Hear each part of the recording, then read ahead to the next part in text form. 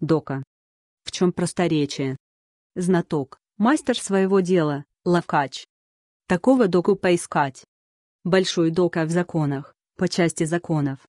Мало слов. Слушай плейлист.